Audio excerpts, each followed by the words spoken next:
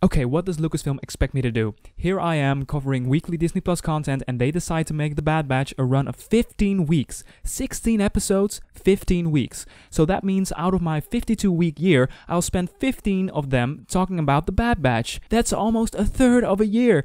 What the hell, Star Wars? I love you. Hi, fellow Disney Plus watchers. This is Thoughts After a Disney Plus Watch, where we review everything new Disney Plus coming out, and I'm glad you are watching. This episode is totally different than the one we got this Tuesday, as this is a 30 minute long mission meant to establish the Empire as a great privacy crushing threat and setting Omega up as a character.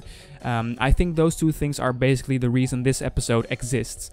So the basic premise of this episode is the Bad Batch going to visit an old friend and helping him and his family get off the planet after an Empire takeover. I, I really liked it. It wasn't a consequential episode like we got Tuesday, where the whole Order 66 situation was established. No, it was an episode meant to justify Omega as a character, why she's going along with the Bad Batch group in the first place, and I like that because I really wasn't sold on her after the first chapter, and I don't know if I am fully yet but I do feel like she's given more purpose. Will there be enough to explore for another 14 episodes? I really don't know, but there is a mystery surrounding her. You know, what, what, what kind of experiment was she? Um, what is going on? There could be a giant story hidden here. Before we move into the spoiler section, if you're one that can get enough of Disney Plus, this is the only channel that specifically and absolutely only Disney Plus thoughts and reviews. Episode per episode, we all watch together, you'll have an idea on what to expect. Click that button and that bell if you want to follow along, thank you so much. So I'm going to go into spoilers. If you haven't seen the second episode of the the Bad Batch, you can put this in your watch later list if you want. Spoilers in 3, 2, 1, let's go. My favorite thing about this episode was the establishment of the Empire and the world building around it. We haven't really explored the privacy, you know, the big brother side of the Empire that much. We knew the concept of clearance codes and monitoring civilians, but it wasn't addressed beyond service level what the Empire is really capable of in terms of being so, um, you know, invasive. The line from Echo really stood out to me. It's ironic, clones wanted to have names instead of numbers, yet now are people signing up to be given numbers. This is also addressing how people can be tricked into a system that will exploit their freedoms. At least that that is what I'm reading into it. Oh, we just have to get a clearance code. How bad can it be? Next thing you know, you're being followed all throughout the galaxy. Great stuff. Omega has the potential to be a good character, but I can't help but feel that I would have maybe liked it better if she was uh, going along with it, going um, going with the family, only to come back later on, you know?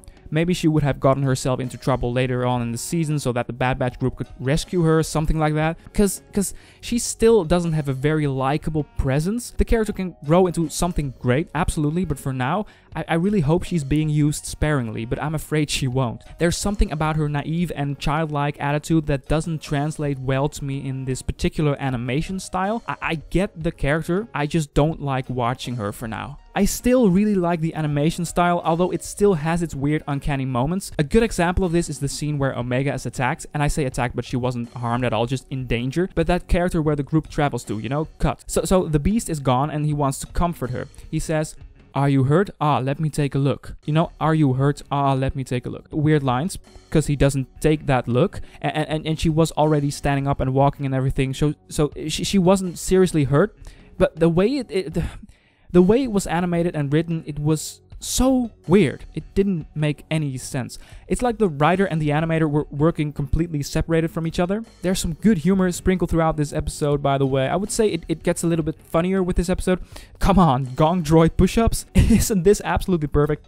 This is something I didn't know I needed. I I want to leave it at this. This episode was just a nice side adventure with something powerful to say about government control, and it fleshed Omega out some more. Uh, I like the mission and the world building. It had some issues, but I'm still very invested in the Bad Batch. I'm thinking about wrapping this up. If you're interested in thoughts on the first episode, it's all in the description or you can browse my channel page. Did you like this video? Then all it takes is to click that blue little hand down there. Thanks. I won't be here to review the latest episodes next week because I will be on a short trip. Thanks in advance for understanding. For now, have a wonderful day and see ya!